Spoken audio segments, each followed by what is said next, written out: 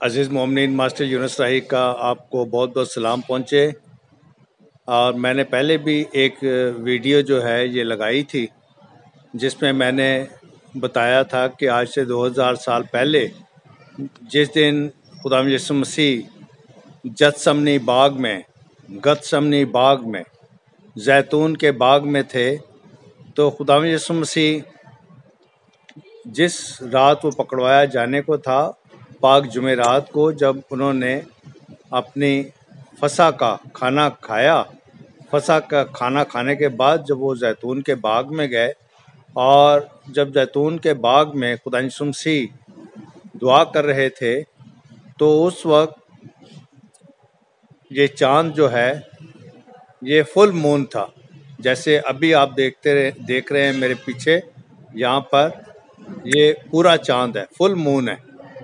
तो ये full moon उस दिन भी, उस रात को भी था।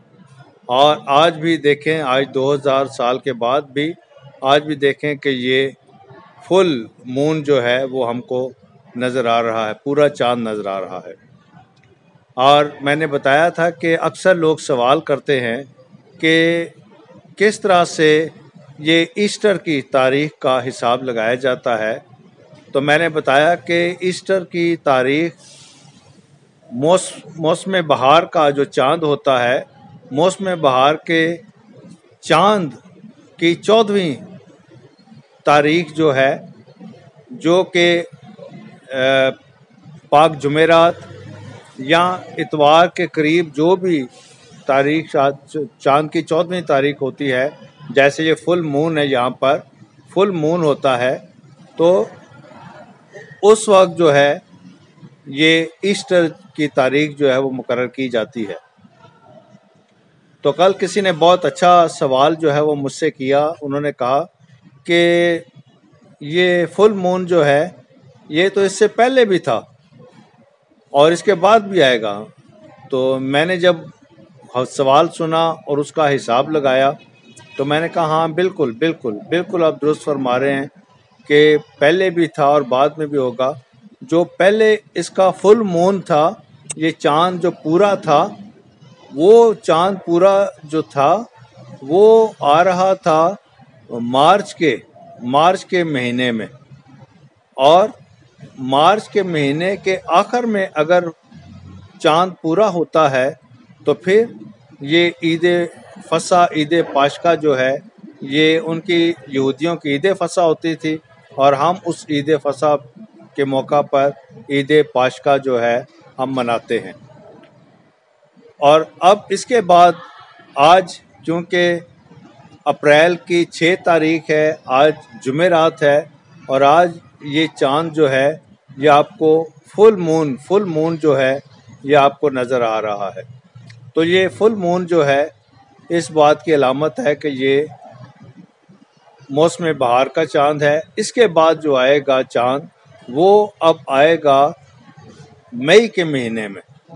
लेकिन मई के महीने में आप जानते हैं कि मई के महीने में ईद पाशका नहीं मनाई जाती।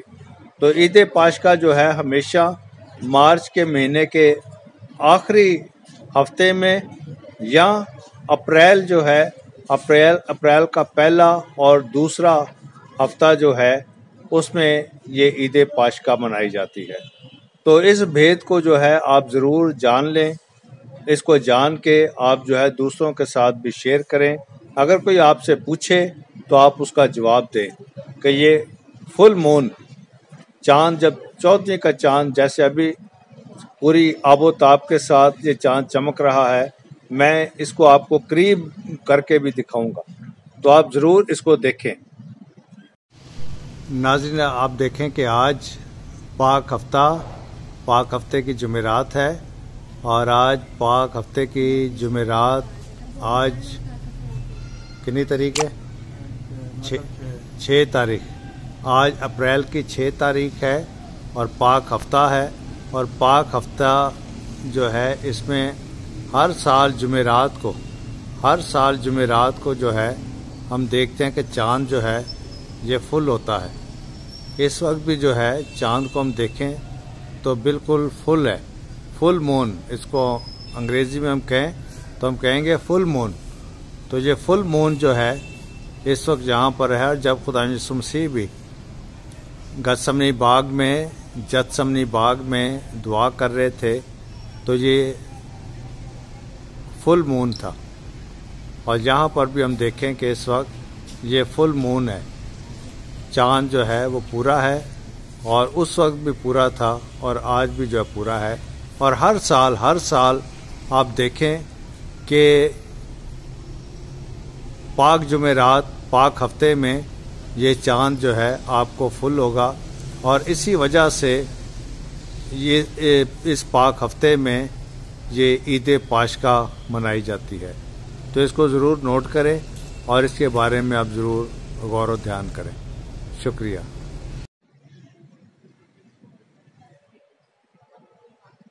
और मुझे उम्मीद है कि आप इस बड़े भेद को, इस बात को जो है, बखूबी आप जान समझ गए होंगे कि किस तरह से पाकमा कलीसिया, हमारा रोमन कैथलिक चर्च जो है, इस ईद पाशका की तारीख निकालता है। इस ईद पाशका को जो है, हमारे लिए मुकर करता है ताकि हम इस ईद पाशका को मना सकें। तो आज की पाक जुमेरात जो है, ये आपको बहुत बहुत मुबारक हो। खुदावंद आपको बहुत बरकत दे। और इसके साथ मैं आपको ये बताना चाहता हूँ कि पाक जुमेरात, मुबारक जुम्मा और पाक हफ़्ता, ये तीन दिन की एक इबादत होती है। ये तीन दिन की एक इबादत होती है जो कि जुमेरात को शुरू होती है, जुम्मे को होती है और हफ़्ते वाले दिन। तीन दिन की ये सैर सै रोज़ा सै रोज़ा ये इबादत होती है। और इस इबादत को जो है फादर जी जब जुमेरात को शुरू करते हैं तो जुमेरात को सलीब का निशान बनाते हैं, बाप, बेटे और रुलकदस के नाम में आमिर और ये इबादत, जब जुमेरात की इबादत ख़त्म करते हैं तो गीत गाते हुए पाक संदूक खाली किया जाता है और पाक यूक्रिस जो है, दूसरी जगह मुंतकल की जाती है।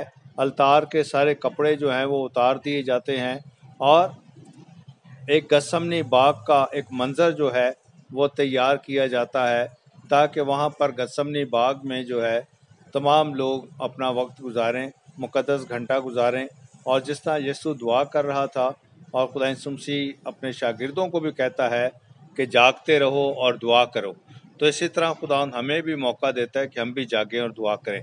और जब मुबारक जुम्मे की, गुड फ्राइडे की जो इबादत होती है गुड फ्राइडे की इबादत में हम देखते हैं कि गुड फ्राइडे की इबादत जो है खामोशी से शुरू होती है, खामोशी में, खामोशी से शुरू होती है और कोई गीत नहीं, कोई ढोल नहीं, कोई हारमोनियम नहीं, कुछ नहीं, खामोशी से शुरू होती है और पूरी इबादत की जाती है और इबादत के बाद आखिर में खामोशी में, खामोशी से ये इबादत ख़त्म भी हो जाती है।